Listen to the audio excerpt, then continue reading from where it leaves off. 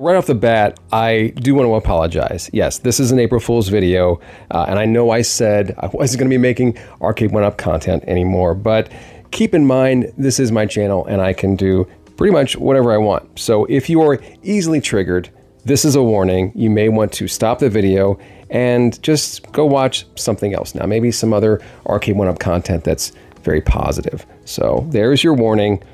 You're still here? Go home.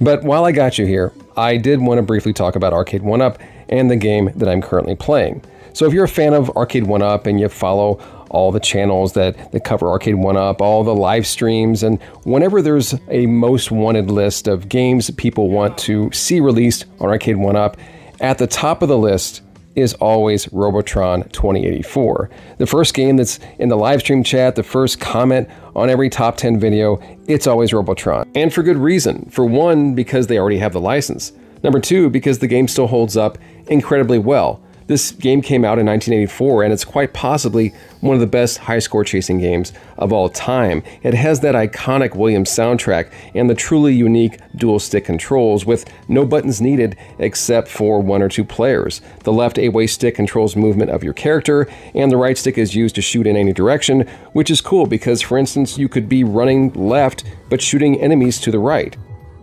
But the thought of Arcade 1 Up releasing this game is almost an April Fool's joke in and of itself. Allow me to explain. So, if you're familiar at all playing Robotron 2084, you'll know that calling this game frenetic is an understatement. The game would make even the No Swear Gamer curse like a sailor. Oh. Bitch. The difficulty ramps up very fast and becomes almost claustrophobic, requiring lightning fast reflexes and forces the player to become aggressive with their joysticks. Without even realizing, you find yourself fanatically jerking both sticks around like a porn star at a gangbang. Now, in case you were wondering, I haven't just been playing Robotron on my multicade. I have spent some time playing the actual arcade machine recently at an arcade in Branson, as well as a couple weeks ago at a convention I was attending in Kansas. So I'm quite familiar with how this game should feel and play.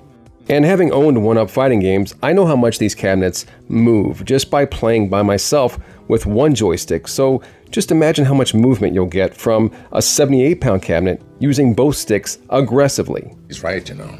The original had a 19 inch monitor, so on a game like this, with enemies constantly closing in on you, you would want a 19 inch screen minimum, which, unless they made a pro model, Arcade 1 Up won't do, theirs would be a 17 inch. And as far as joysticks go, they're going to take a beating, so stock Arcade 1 Up joysticks just aren't going to cut it. And then there's the weight of the cabinet. My multicade weighs around 160 pounds, and even I sometimes get the slightest bit of movement from aggressive play. An Arcade 1 Up at half that weight will be flopping around like a fish unless you bolt it to the wall or throw in a couple of sandbags. But doesn't it make you wonder why they haven't released Robotron yet?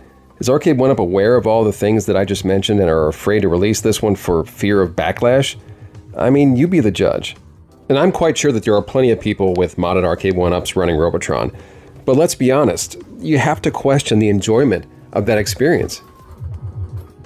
I think the only way Arcade 1 Up could do this game justice is to release an XL or a Pro model. But as we've seen in the past, these Pro models are still severely lacking in quality. While a thousand bucks does get you a 19 inch screen and a larger form factor, it doesn't get you real T-molding, quality buttons and sticks, above average speakers, and a marquee that's not washed out.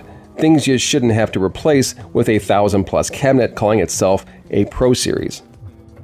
So my advice to you if you want to play Robotron 2084 and play it the way that it was meant to be played, with dual joysticks, is to play it on a cabinet that is better constructed, with preferably 3 quarter inch MDF versus half inch, something with at least a 19 inch screen that has good quality joysticks and some good speakers, something like an AtGames Legends Ultimate or a Multicade if you have one. The controls are very simple to set up in MAME, and I guarantee you the experience will be so much more enjoyable than playing it on a 3 quarter scale arcade 1 up.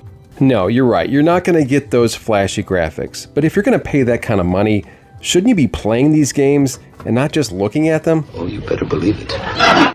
All right, that's going to do it for this video. Again, apologies for the clickbait thumbnail, but hopefully you enjoyed the video. If so, make sure to hit that thumbs up on the way out. I'm also going to leave links to my previous April Fool's videos in the description if you're interested. I think you'll get a laugh out of those. And, and leave your comments. I'm sure there's going to be some doozies. All right, thanks for watching. I will catch you on the next one.